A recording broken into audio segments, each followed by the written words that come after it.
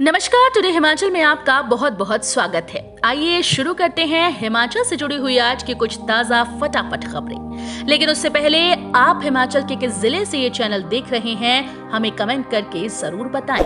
और साथ ही अगर आप चैनल पर नए हैं तो चैनल को सब्सक्राइब ज़रूर करें। हिमाचल में चुनाव प्रचार का शोर थमा, अब डोर टू डोर जाएँगे प्रत्याशी।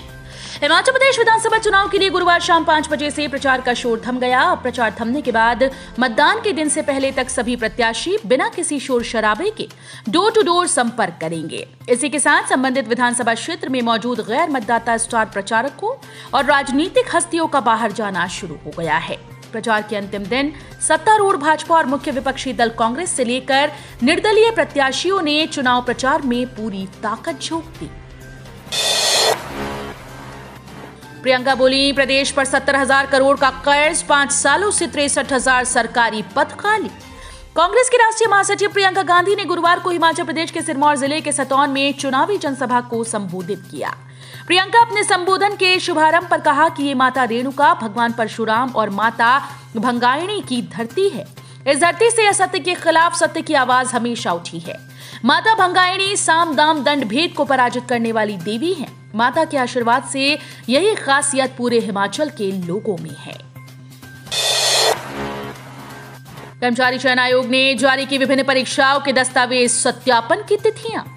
हिमाचल प्रदेश कर्मचारी आयोग ने विभिन्न परीक्षाओं में उत्तीर्ण हुए अभ्यर्थियों के दस्तावेज़ सत्यापन प्रक्रिया के लिए तिथियाँ घोषित कर दी। पोस्ट कोड नौ इंस्पेक्टर लीगल मेट्रोलॉजी और पोस्ट कोड नौ सौ पचहत्तर इलेक्ट्रीशियन का 14 नवंबर। पोस्ट कोड 960 लेबोरेटरी असिस्टेंट व पोस्ट कोड नौ सौ सतहत्तर मार्केट सुपरवाइजर का 15 नवंबर। पोस्ट कोड नौ सौ चौहत्तर इलेक्ट्रीशियन का 16 नवंबर। सब स्टेशन अटेंडेंट का 17 से 23 नवंबर।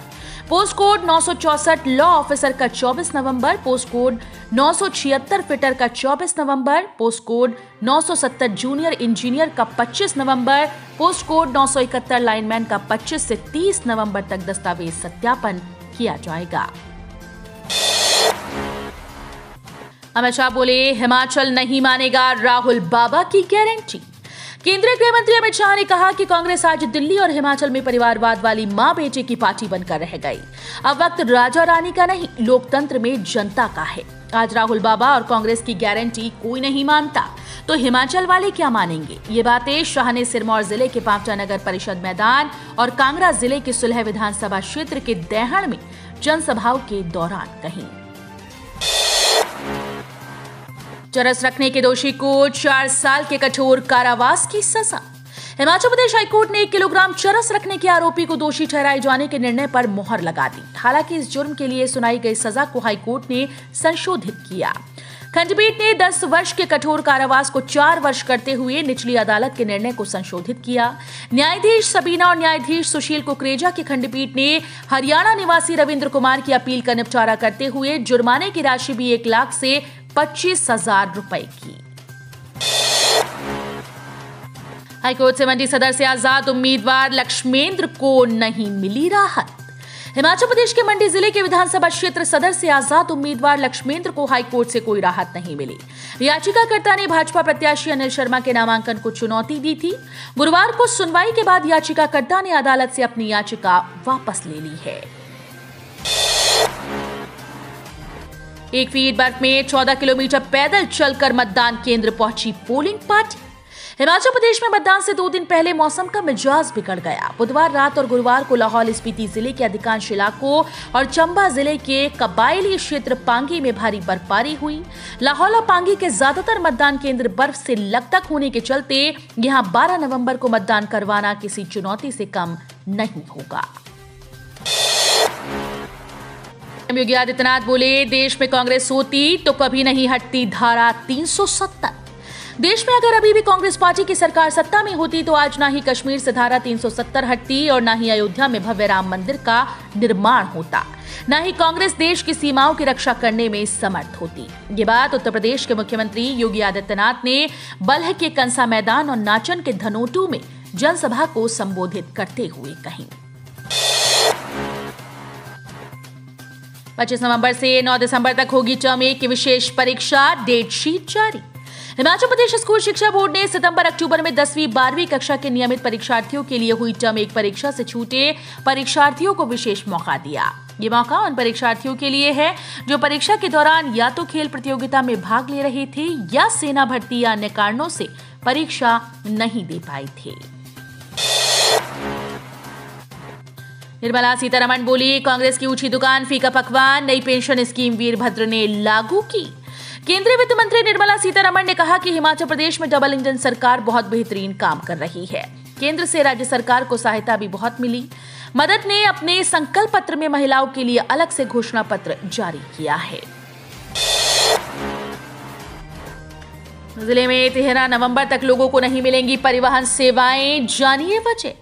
हिमाचल प्रदेश के सिरमौर ज़िले में लोगों को वीरवार से तेरह नवंबर तक परिवहन निगम की सेवाएँ नहीं मिल पाएँगी। बारह नवंबर को होने वाली मतदान प्रक्रिया के लिए पोलिंग पार्टीज़ को लाने और ले जाने के लिए प्रशासन की मांग पर परिवहन निगम से 100 बसेस भेजी हैं। लाहौल स्पीति में बर्फबारी, सौ से अधिक सड़कें बाधित, अटल टनल पर्यटकों के लिए बंद हुई।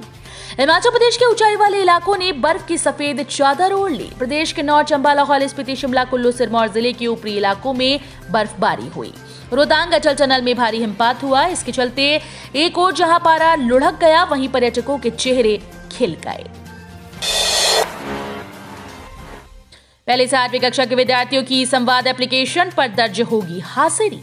हिमाचल प्रदेश के सरकारी स्कूल में पढ़ने वाले पहली से आठवीं कक्षा के विद्यार्थियों की अब ई संवाद एप्लीकेशन पर हाजिरी दर्ज होगी। विद्यार्थियों के अनुपस्थित रहने पर अभिभावकों को इसका मैसेज भेजा जाएगा। ई संवाद ऐप के माध्यम से शिमला से अफसर भी हर स्कूल की मॉनिटरिंग कर सकेंगे। बीएड की जेबीटी टेट में एंट्री को लेकर सड़कों पर उतरे जेबीटी प्रशिक्षु, बोले, छीना जा रहा हमारा हक। हाल ही में हिमाचल प्रदेश शिक्षा बोर्ड धर्मशाला ने विभिन्न विषयों की टेट परीक्षा के फॉर्म निकाले, जिसमें जेबीटी टेट परीक्षा में इस बार बीएड वालों को भी एंट्री दी गई है, जिस पर जेबीटी प्रशिक्षित बेरोजगार संघ ने रोष प्रकट किया और एक बार फिर से कोर्ट का रुख किया है। वहीं जेबीटी कर रहे प्रशिक्षुओं ने अपनी कक्षाओं का बहिष्कार कर दिया है। सुंदरनगर के पुंग में चलते ट्रक में लगी आग, लाखों का नुकसान। राष्ट्रीय उच्च मार्ग इक्कीस चंडीगढ़ मनाली पर सुंदरनगर के पुंग में गुरुवार प्रातः पाँच बजे के करीब सलापड़ की ओर से मंडी की तरफ़ जा रहे एक ट्रक में एकाएक आग लगने से ट्रक व अंदर लदे सामान को आग लगने से लाखों रुपए का नुकसान हुआ। बिलासपुर में दो गुटों में मारपीट, कांग्रेस प्रत्याशी बम्बत ठाकुर का बेटा घायल, किया चक्का जाम बिलासपुर में वीरवार देर साय बस स्टैंड के पास भाजपा और कांग्रेस कार्यकर्ताओं के बीच झड़प हो गई। भाजपा व कांग्रेस कार्यकर्ताओं ने एक दूसरे पर मारपीट का आरोप लगाया है।